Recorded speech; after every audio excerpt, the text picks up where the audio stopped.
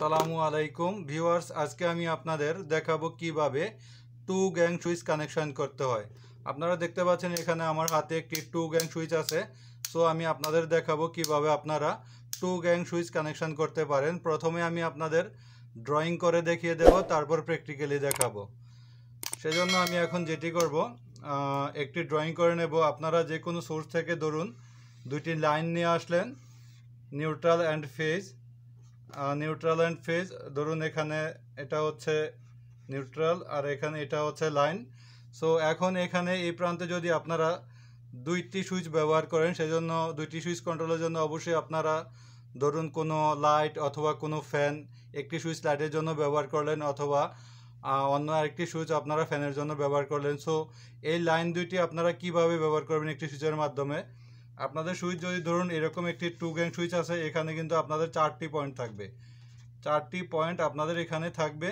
So চারটি point থেকে আপনারা যেটি করবেন লাইন কানেকশানটি আপনারা ডাইরেক্ট এখানে নিয়ে আসবেন।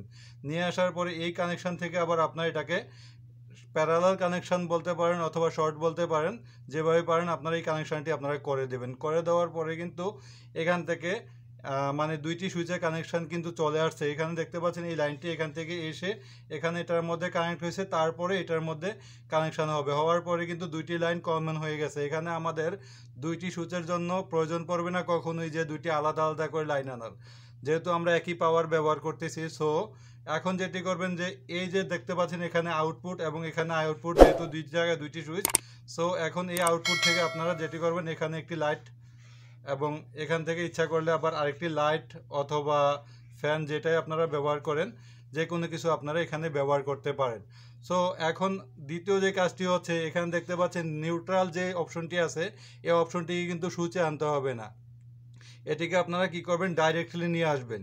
এখান থেকে ডাইরেক্ট কানেকশন করে এনে কানেক্ট করে দিবেন। তারপরে কিন্তু আপনাদের সুইচের কাজটি হয়ে যাবে। এখন আমি আপনাদের প্র্যাকটিক্যালি দেখিয়ে দেব কীভাবে আপনারা এই কানেকশনটা করতে পারেন। ভিওয়ার্স আপনারা এখানে দেখতে পাচ্ছেন, আমি যে কোনো একটি মাধ্যম থেকে ঠিক এখানে যেভাবে ড্রয়িং দেখিয়ে দিছি এভাবে আমি একটি সুইচ কানেকশন করে নিছি। এখানে দেখতে পাচ্ছেন আমি এই যে সুইচের দুইটি পয়েন্ট দেখতে পাচ্ছেন এখানে আপনারা, এই দুইটি পয়েন্ট থেকে কিন্তু আমি শর্ট করে নিছি। শর্ট করে নেওয়ার পরে এখানে যে মেইন লাইনটি আসছে আমাদের, ধরুন কোনো ফিউজ থেকে অথবা কোনো কাট আউট থেকে অথবা ব্রেকার থেকে যে মেইন লাইনটি আসছে, সেই মেইন লাইনটি আমি এখানে ইনপুট করে দিছি, করে দেওয়ার পর এখান থেকে এটাকে এটাকে কানেক্ট করে দিছি। কানেক্ট পর, দেওয়ার পরে এখন যেটি হবে এখানে দেখতে পাচ্ছেন আপনারা এই যে নিউট্রালটি আমাদের এই যে নিউট্রালটি আছে নিউট্রালটি আমি কি করছি? এখানে দেখতে পাচ্ছেন লাইটের মধ্যে ডাইরেক্ট দিয়ে দিছি। এটা কিন্তু আমাদের সুইচে আনার কোনো প্রয়োজন নেই। এবং এখানে দেখতে পাচ্ছেন দুইটি লাইট আমি ব্যবহার করছি। এই নিউট্রালটি এখান থেকে কানেকশন করে আমি এখানে আরেকটি লাইটের মধ্যে কানেক্ট করে দিছি ডাইরেক্টলি এখন আমাদের যে কাজটি হচ্ছে যে আমাদের ফেস কানেকশনটি সুইচ থেকে আমরা করে নেব।